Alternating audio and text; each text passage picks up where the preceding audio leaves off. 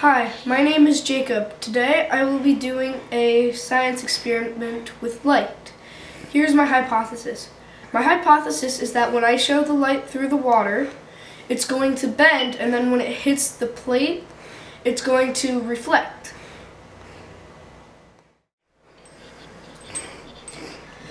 Okay, so we're going to do the experiment now, and what we're going to need is materials. So here's your little screwdriver or nail, whichever one you prefer to use. You're going to need this so you can poke a hole in the bottle that we're going to show you later. Um, it's it's gonna be it's gonna have to be fairly small so that way it can fit into the bottle, and that's about it. And now you're gonna need the bottle. Now you're gonna need the bottle. So what this is for is the hole that the water is gonna come out of. As you can see, I already have my hole pre-made. Um, have a have a parent's help with this because I don't want you you're killing yourself or poking out your eye. And then the third thing you're gonna need is the water. This is the most important thing, otherwise you're not gonna be able to do the experiment. Uh, you're gonna need a little tub for the bottle to have the water pour out of through the hole into here. And then you need the light, which is what the experiment is on. As you can see, it works just fine. It glows through the plastic pretty well. So,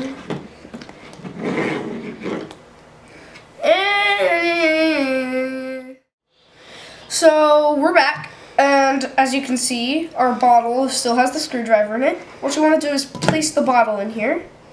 And then grab your jug or whatever you have full of water. Pick it up.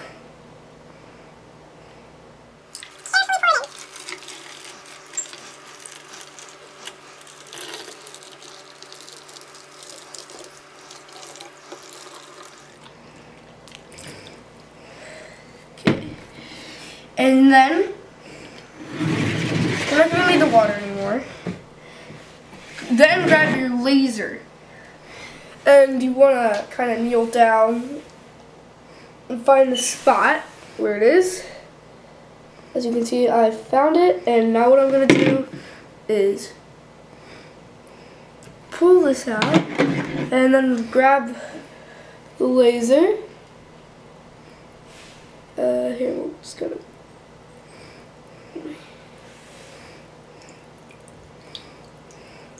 And as you can see, if I get it onto the light, this bottom part kind of shines red.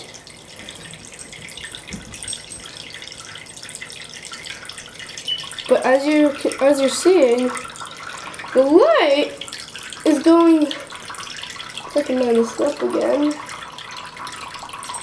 Um. The light goes through the water. I touch it, it still glows against my finger. This is what it, it, this is because the light is bending or going through an object. And because my finger is getting in the way, it's got to stop bending, forcing it to go bend up onto my finger. Uh, here, I'll give you a little quick view. You can see that my finger is turning red.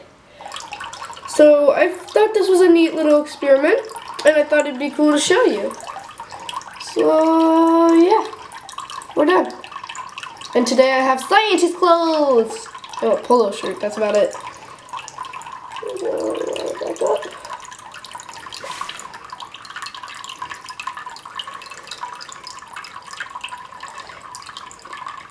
Keep it. There we go, perfect. As you can see, as it gets shorter, harder to but it also glows a little more in the light. So thank you for watching. As you saw, the light went through, out the other side. If I can find our little hole again. Uh, where is that nasty little hole? Right here. This is where the water came out. And if we show, and as you saw, we shone the light through it. It came out and came down here. And then when it hit the water, it sent a faint little glow around here. Like, maybe like right here to here. I'm gonna need a towel after this. maybe a shower, I don't know. Um, and then, uh, as you can see, our bottle is a little bit more empty than it was before. That's pretty obvious. Uh, what happened was when it when it got around this far, it started to fade away, and then you couldn't see the color anymore. But because it's light, it faded away so fast that it looked like it instantly stopped.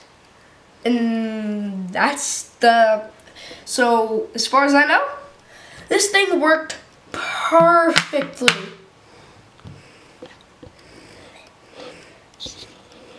So thanks for watching, guys. And by the way, high five. All